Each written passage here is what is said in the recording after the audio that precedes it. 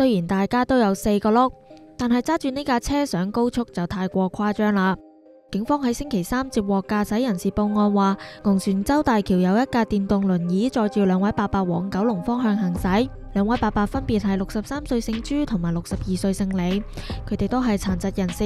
佢哋就话之前买咗一部电动轮椅，试车嘅时候荡失咗路，又唔熟悉交通规则，唔小心就上咗高速。之后警方将佢哋送返去安全嘅位置。